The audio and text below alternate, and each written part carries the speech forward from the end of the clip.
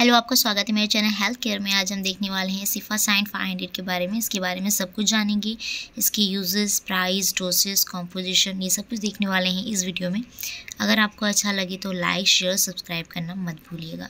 तो ये जो है, किस लिए यूज़ करते हैं, इसके बारे में देखते हैं।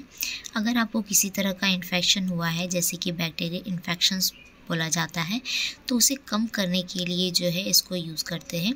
अगर आपको ईयर इन्फेक्शन हो, या नोज़ में इन्फेक्शन हो गया हो, या यूरिनरी इन्फेक्शंस हो या आपको स्किन रिलेटेड इन्फेक्शन हो गया है या आपको बोन्स में इन्फेक्शन हो गया है, अगर आपकी सर्जरी हुई है, उस दौरान जो है इन्फेक्शन हो गया है, वो कम नहीं हो रहा है तो जो है आपको डॉक्टर्स जो है ये लिख के देते हैं, ये यूज़ करने के लिए डॉक्टर्स आपको देते हैं। वो स्किन इन्फेक्शन अगर आपको हुआ है तो उसे ग्रोथ ना हो ज़्यादा, उसे कम करने के लिए यूज़ किया जाता है। अगर आपको दूसरी तरह की भी इन्फेक्शंस हुए हैं तो उसे कम करने के लिए जो है आपको डॉक्टर से लिख के देते हैं। अगर आप जो है अपने बच्चों को दूध पिलाते हैं, अगर आप ब्रेस्ट फीडिंग करते हैं अपने बेबी को तो आप मत यूज़ कीजिए।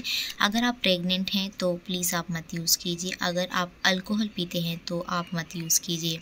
ये यूज़ करने से पहले आप अपने डॉक्टर को ज़रूर दिखाइए, क्योंकि ये सिफा साइन फाइव हंड्रेड एम जी का है। इसमें फोर टैबलेट अवेलेबल है। इसकी प्राइस जो है टू ट्वेंटी एट है।